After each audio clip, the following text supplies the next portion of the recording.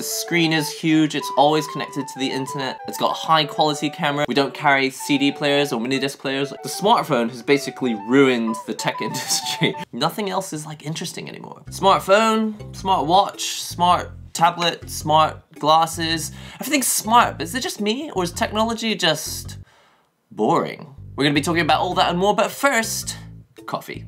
Go and get the grinder. Essentially, well, first of all, today's coffee is Brazil Mmm, tasty beans. I actually put this on Twitter recently, but I was thinking about all the tech that's coming out and about the fact about whether I really need to be buying a new iPhone this year or not. Because I've got the iPhone 10s. This is the one that came out right after the iPhone 10. And I understand that essentially if you want a large upgrade, you generally wait two years. If you buy a new iPhone every year, you're not really going to notice much of a gap. It's like, okay, it's got a slightly better camera, or it's got a slightly better thing, but if you want a larger difference between your smartphone of the previous generation, you generally wait two years. And, and actually most people buying smartphones are on two-year contracts, and, and I think sometimes even three-year contracts. Let's grind! When I was doing this channel a few years ago, it seemed like new stuff was coming out all the time and it was interruptive, disruptive technology that was going to massively change the way we live our lives. And what's actually happened over the course of those years is that, you know, we've got really great new smartphones, we've got smart watches, we've got all these super thin tablets, and we've got highly graphics capable gaming consoles, and we've got virtual reality. It all seems like it should be really exciting. So why does it all seem so boring to me? I've started to realize that all the stuff that comes out, and even though I buy it sometimes and try it, it all just seems so non-essential. For example, a product like the Apple Watch, right? I wanted to really love the Apple Watch. And technologically, it's very impressive. It's a very small piece of technology. It's really not that thick. The battery doesn't last very long, but what it's capable of doing is really impressive. And what they've been doing with the successive iterations, because this is actually like a Series 2 Apple Watch, the 3, the 4, the 5 that came after it, now they've got like an always-on display, the battery life is a little bit better, it can actually sense when you've fallen down, it can call the ambulance for you. All this stuff seems really great but for some reason it just never feels essential. When I'm leaving the house to go out, I'll often think about whether I need to put on my Apple Watch because I don't put it on in the morning because it's often sitting on the charger. And so if it's sitting on the charger and I'm about to go out and I think to myself, do I need to put on my watch, otherwise I won't be able to tell the time? The answer is no, because on my smartphone, I can check the time on there. And most of the time, I'm always sitting around with my smartphone like this, on the train or I'm traveling somewhere and I'm checking Twitter and basically I'm, I'm holding my smartphone so often that the necessity to wear a watch has basically disappeared. And so it's a shame because the smartwatch is like a technology that we needed a few years before the smartphone became a thing, or before cell phones became a thing, the watch was a really useful tool because we always needed to know the time and we didn't have a device on us that was always telling us the time. But if you check your screen time, it says like you spent two hours this week on your phone, or you spent eight hours this week on your phone, or you've spent 16 hours looking at your phone this week. That's way longer than you've ever spent looking at your watch. And the thing is, we just always know what time it is because we're always looking at a device that has a clock on it anyway. And so even though the Apple Watch is really impressive, the fact that it's a watch doesn't make it essential anymore because the watch just isn't an essential device anymore. And if the watch is an essential device to you, it's probably because it's a fashion object. And the thing about the Apple Watch is there's really one model, one shape, one design. And even though you can change the band on here, really, if you want to be fashionable and you want to go somewhere and look posh, you probably want to have one of those lux luxury watches. Something that says a little bit more about how much money you have to spend on expensive watches. What I found is that after the Apple Watch came out, I don't think it's had really too much effect on the luxury watch category because if you're all dressed up and fancy and then you add to your outfit an Apple Watch, then the Apple Watch is such a I, it's such an iconic, everybody knows what it is object. that it kind of overpowers whatever it is you're actually wearing. It doesn't like accent your style. What I'm, what I'm trying to say is that it's not a very essential object anymore because the watch isn't what it was before cell phones and smartphones became a thing. We have the time and it's right here. Okay, so I may have focused a little bit too much on the Apple Watch, but I think probably the point that I'm trying to say here is that the smartphone was just too good. As an invention, it was literally everything we needed. We now have the internet in the palm of our hand, and not only that, we also have the time. And so the Apple Watch, well not just the Apple Watch, smartwatches in general, just became this inessential thing. I think the idea is that you always wear your watch, and so the thing that you're always wearing ought to be the thing that has all of your vitals on it. It's got your cardio, it's got your, it can call the ambulance for you, if you're running, it's got your timers, it's got your stopwatch, it's got your MP3, it's got your music, it's got everything on it. The idea was the device that you're always wearing should be this massive essential thing that you've always got on you. And unfortunately, the watch is no longer that object. It really is the smartphone. The smartphone is the essential thing that you've always got on you. The only thing is that you need a pocket. You need somewhere to put it. And so actually, in theory, the watch is better because you don't need a pocket for it. So even if you've got an outfit that doesn't have pockets, then it's this super convenient thing that you can still wear. The thing is, it doesn't function nearly as well as a smartphone. This is not a knock on the technology or the design of the watch. It's just by nature, when you put this thing on your wrist, and I'll, I'll, just, I'll just show you later, when you put this thing on your wrist, you now need to use not one but two hands in order to operate it. And that is one of the critical issues with the smartwatch. When you've got it wrist, when you've got it raised up, you essentially have to, you can't use the hand that's wearing the watch, you have to use a second hand to press the functions on it. And unlike a smartphone, you can, basically a smartphone, you can use all with one hand. So you could be holding your shopping in one hand, you could be taking care of your children, feeding them with one hand and using your smartphone in the other, although really probably should be focusing on, on feeding your children with both hands. The other big one for me is VR, and I own multiple VR headsets, and every time I buy one, I think, okay, I'm gonna watch all my movies on this, I'm gonna play all my games on this, I'm going to do my computing on this, I'm gonna do so much stuff with this VR thing, that VR, uh, virtual, is like the future office or the future of where I want to be all the time. And the thing is, it's just not. I've ended up constantly thinking, okay, I want to play some games right now. I think I'll just pick up my arcade stick and sit in front of this monitor. Or I'll sit I'll pick up my arcade stick and sit in front of the TV.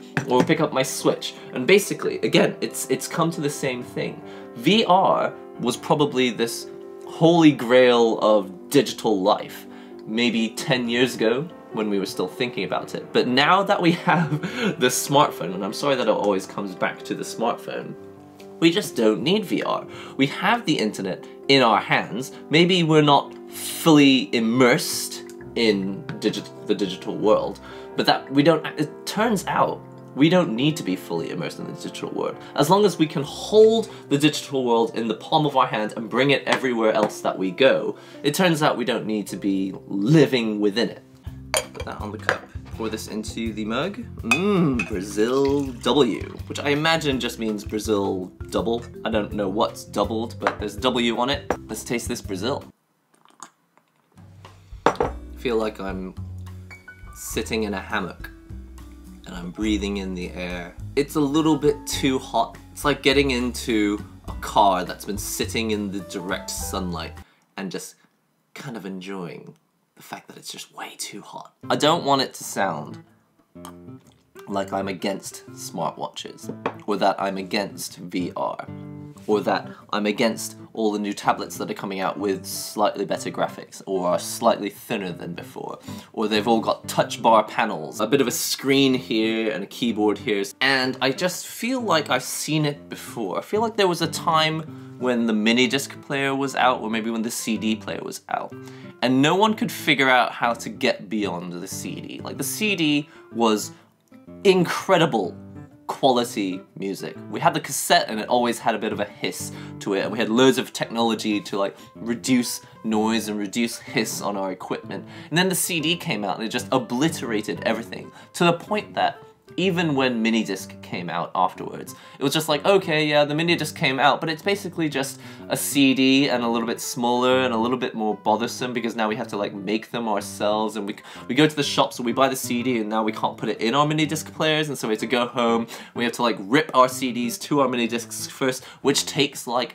74 minutes and then we put it into our minidisc player and then we decide that we want to have a slightly different mix and it would like actually the minidisc although it was a fantastic piece of technology. It had all this promise, but it was in it was non-essential. But anyway, just to explain, if anyone doesn't know what minidisc is, it was like a small mini CD, but music was still being sold on CDs. So in order to bring this music around with you on your minidisc player, you had to burn your CD to a minidisc, or you need to buy a minidisc album, or you needed to put that CD onto your computer with like a digital system and then burn those MP3s back onto minidisc and make like mixtapes and stuff. Essentially, it was a phenomenal technology and enthusiasts loved it, but the truth was the world wasn't ready for it and the industry wasn't built for it. The industry was still built around the CD. Anyway, I feel like similarly right now, we're trying to find out what comes next because we all loved when the iPad came out. The marketing thing about the iPad when it came out was that you could hold the internet in your hands. And so it was like the next step from the smartphone. And so although really nothing else as disruptive has come out after the smartphone, the iPad has come really, really close because it's a much nicer big brother, big sister product to the smartphone. But even though we've got tablets, we don't see people generally walking around with them and checking their maps on their tablets. I saw this in Japan. Some people were like chatting on their iPads instead of a, instead of a phone. They're using it as their their map and all that. But we've like gone past that era and we've gone back to the smartphone. And I just can't think of anything that really tops the smartphone. It tells the time, it plays games. It doesn't play games as well as the Switch does, but we'll go, I'll get into that in a moment. But in most cases, probably more people play games on smartphones than people who play games on PS Vita or Nintendo Switch or something like that. You know, I don't even carry around a nice camera with me anymore. I used to spend money on GoPros and Sony's little action cameras, but most of the time, even if I'm cycling, I'm mu I'd much rather just like pull my smartphone out of my pocket while cycling and I'll just take a shot like this. It's got optical image stabilization, it's got high quality camera, even if I need to zoom, there's actually two lenses so I can zoom in now as well. The screen is huge, it's always connected to the internet. The smartphone has basically ruined the tech industry. it was interesting before, now that we've got smartphones of this caliber, nothing else is like interesting anymore. We don't carry CD players or mini disc players or MP3 players anymore because it's got you know, iPod, it's got iTunes built in, you can listen to music, Spotify. Technically, even VR isn't really essential anymore because basically if you buy one of those Google Glass things, not Google Glass, you know what I'm talking about. Google Cardboard. If you buy like Google Cardboard, you can slot your phone into it and you can use your phone as VR. It has all the hardware required. To be honest, the processor in this is probably more expensive than the type of thing that you get in dedicated VR headsets because they can afford to. If this is gonna, if they're gonna charge you a thousand dollars for this device anyway, it has the ability to have more powerful hardware in it than an actual dedicated VR device. I used to have a Kindle, I used to read books on my Kindle that I don't need to bring around anymore because my smartphone has a giant screen and I can read all my books on it and if I need to download new books I can still buy them on here. You know, we don't need sound recorders anymore because you can plug a microphone into this or you can just use the microphone that's built into this. This has got a really great microphone on it. I don't need to bring my laptop around anymore because it's got video editing software in here. Actually, I think of all the main big things that I like to cover on this channel. It's probably like graphics tablets, gaming consoles and other technology. And for graphics tablets, it's just like after the iPad came out, there was really like no other graphics tablet really worth playing around with. Of course, I like the Mobile Studio Pro because I've got my hover cursor, but apart from the hover cursor, like now that we've got Clip Studio Paint on here. We've also we've already got Procreate and then Adobe's got Fresco that's just come out. Essentially the iPad and the Apple Pencil really probably is a very, very, very difficult technology to beat because it's the screen is so high quality, it's so, the glass is so thin, it's very difficult for any graphics tablet manufacturer to beat the iPad and the Apple Pencil. So I'm trying to figure out what is supposed to be exciting in the tech world, or just in general in the shopping world, in this sort of world of things that you can buy that are exciting. What is actually still interesting? And I'm having trouble trying to figure out what it is, which is probably why for the past year and a half or so, I've been focusing mostly on fighting games, because with fighting games, you just buy a fighting game, the one that you like, and you just practice it and you get good at that game. And essentially, if you've got your fighting game, let's say it's Street Fighter 2 or Street Fighter 5 or Under Night In-Birth or BlazBlue Cross Tag, any of these games, you can basically just buy that one game, just practice it, and then you really don't need to buy anything else. I think that's actually part of the reason why I don't feel any need to buy other stuff is because essentially I'm constantly like I could go out and go shopping and buy some new RPG, Apple Watch or a new smartphone or a new tablet, but essentially it always comes down to, but none of those things will satisfy the fact that really I just want to be a little bit stronger at the fighting games that I play. And so essentially I can stay home for like three or four hours just practicing a fighting game and have no real need to spend more money on other tech. I look at the tech that is coming out and essentially here's what seems to be exciting. 5G is coming out, which means internet without a broadband connection at home is going to be really fast. Hooray. But it's like non-essential. 5G is going to be fast and it's going to be, it's going to change a lot of things, but it's still like a non-essential technology. It's just faster. I think more stuff is happening with VR. Even though I think it's really amazing when I do use it, when I'm not using it, I don't feel like I need to get my VR headset and do this in VR. It's like, well, if I need to watch a movie, yeah, it's kind of fun to be in the virtual Netflix room with that fireplace. Or I could just watch it on my tablet, which is just as good. If there's anything that should be exciting and should become massively essential, and could massively change our lives. I really do think it's augmented reality. And if you don't know what augmented reality it is, just imagine instead of a VR headset, it's just plain glass. You've got a pair of glasses and it overlays your world. So instead of looking at your smartphone for a map, it would you just look at your actual world and you'd see virtual arrows. Imagine your real life with 3D graphics superimposed on top of it. The reason why I think that augmented reality, and we still don't really have a very good version of it yet, the only reason I think that augmented reality probably is